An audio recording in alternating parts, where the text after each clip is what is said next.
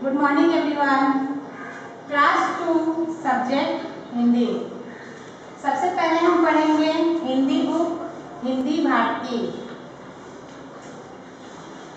पाठ आठ, कविता. ऐसा सुंदर समय न हो. उठो लाल, अब आँखें खोलो. पानी लाई हूँ, मुँह धो लो. बीती रात कमल फूले. उनके ऊपर बौड़े झूले.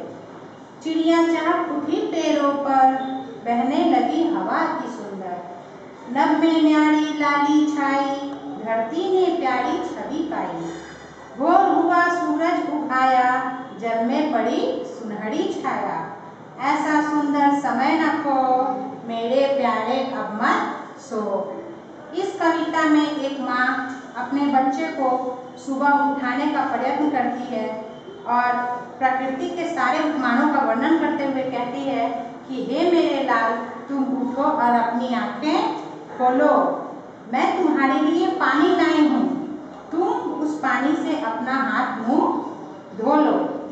बीती रात रात बीत चुकी है और कमल के फूल जो है वो भी खिल चुके हैं। साथ ही साथ उन फूलों पर घोड़े भी जो है वो मंडरा रहे हैं। इतना ही नहीं। हे मेरे लाल चिड़िया भी जो है, वो चहक उठी है। साथ ही साथ सुबह में बहुत ही सुंदर, अति सुंदर, प्यारी हवा भी बह रही है।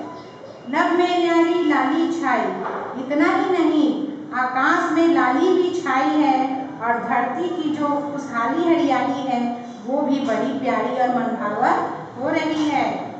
भोर हुआ, सूरज उगाया। सुबह हो गई है और सूरज जो है, वो उग चुका है। साथ ही साथ उस सूरज की सुनहरी छाया जल में दिखाई दे रही है। इसलिए, हे मेरे लाल तुम इतने सुंदर समय को यूँ ही नुकसान मत करो, बर्बाद मत करो। उठो मेरे प्यारे, तुम अब मत सो।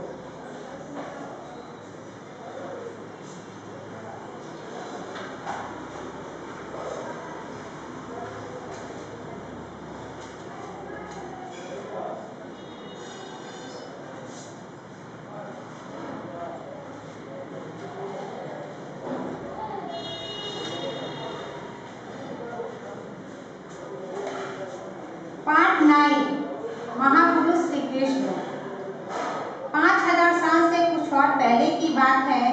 भारत की दशा बड़ी शोचनीय हो गई थी। अनेक पापी राजा उत्पन्न हो गए थे। सबसे अधिक अत्याचारी मथुरा का राजा कंस था। कंस ने अपने पिता उग्रसेन अपनी बहन देवकी और अपने बनोई वसुदेव को ही कारागार में डाल दिया था। भाद्र पक्ष कृष्ण पक्ष की अष्टमी तिथि थी। बुधवार का दिन था। ठीक आधी रात को कारागार में ही देवकी के गर्भ से श्री कृष्ण का जन्म हुआ। उनका पालन पोषण गोकुल में यशोदा ने किया। यशोदा नंद की पत्नी थी। नंद वसुदेव के मित्र थे। गोकुल में बार बार राक्षस आते थे उत्पात करते थे। इसलिए जब श्री कृष्ण लगभग तीन वर्ष के थे नंद बाबा गोकुल छोड़कर वृंदावन में बस गए। श्री कृष्ण की शिक्षा दीक्षा गुरु संदीपन के आश्रम में हुई। सुदामा इनके बहुत बड़े और प्रिय मित्र थे। आपस में धनी निर्धन का कोई भेदभाव नहीं था। दोनों बड़े हुए। सुदामा एक गरीब ब्राह्मण थे। अपनी पत्नी के बार बार कहने पर वह एक बार श्री कृष्ण के यहाँ गए। श्री कृष्ण उन्हें भूले नहीं थे। उन्होंने उनका बड़ा स्वागत किया, आदर से बैठाया, अपने हाथों उनके पैर धोए, उनकी पत्नी रुक्मिणी ने स्वयं चवर डोलाया, सुदामा न जान पाए कि वे निर्धन है और श्री कृष्ण राजा हैं। इस तरह किया उन्होंने अतिथि सत्कार। श्री कृष्ण ने उन्हें बहुत सा धन दिया। श्री कृष्ण के मन में छोटे बड़े का कोई भेदभाव नहीं था। श्री कृष्ण और सुदामा की मैत्री सदैव अमर रहेगी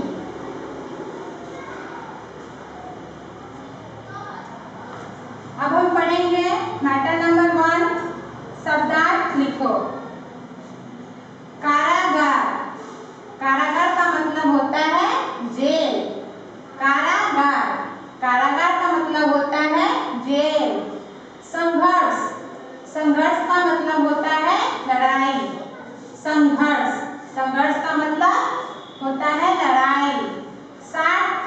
सारथी का मतलब होता है रथ हाँकने वाला।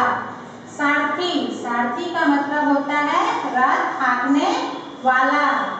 नागरिक नागरिक का मतलब होता है देशवासी। नागरिक नागरिक का मतलब होता है देशवासी। निर्भर निर्भर का मतलब होता है आश्रित। निर्भर निर्भर का मतलब होता है आश्रित। मैटर नंबर टू पर्याची शब्द मैटर नंबर टू पर्याची शब्द पार्वती पार्वती का पर्याची गौरी उमा शिवा पार्वती पार्वती का पर्याची गौरी उमा शिवा बंदर बंदर का पर्याची कपी मरकट हड़ी बंदर बंदर का पर्याची कपी मरकट हड़ी बिजली। बिजली का पर्याची चपला दामिनी तड़ी। बिजली का पर्याची चपला दामिनी तड़ी भाड़ा भाड़ा का पर्याची भ्रमर मधुकर मधु भाड़ा भाड़ा का पर्याची भ्रमर मधुकर मधु राक्षस राक्षस का पर्याची असुर दैत्य दानव राक्षस राक्षस का पर्याची असुर, दैत्य, दानव। मैटर नंबर थ्री विलोम शब्द मैटर नंबर थ्री विलोम शब्द नवीन। नवीन का विलोम प्राचीन। नवीन। नवीन का विलोम प्राचीन। आशा। आशा का विलोम निराशा। आशा। आशा का विलोम निराशा। सुगंध। सुगंध का विलोम दुर्गंध सुगंध सुगंध का विलोम दुर्गंध पंडित। पंडित का विलोम मूर्ख पंडित। पंडित का विलोम मूर्ख मैटर नंबर फोर, प्रश्नों के उत्तर दो। मैटर नंबर फोर, प्रश्नों के उत्तर दो। Question number one Shri Krishna का जन्म कहाँ और किसके गर्भ से हुआ? श्री कृष्ण का जन्म कहाँ और किसके गर्भ से हुआ? उत्तर श्री कृष्ण का जन्म मथुरा में देवकी के गर्भ से हुआ। उत्तर श्री कृष्ण का जन्म मथुरा में देवकी के गर्भ से हुआ। दूसरा प्रश्न, गीता का अमर संदेश क्या है? दूसरा प्रश्न